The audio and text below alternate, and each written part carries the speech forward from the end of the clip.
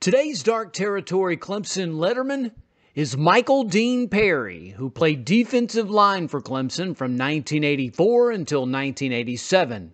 Perry played on the 1986 and 87 ACC championship teams and led the Tigers to the 1986 Gator Bowl and the 1987 Citrus Bowl. Perry was named All ACC and was a first team All American in 1987. During the 1987 season, he was a finalist for the Outland Trophy and was named ACC Player of the Year, a rare distinction for a defensive player.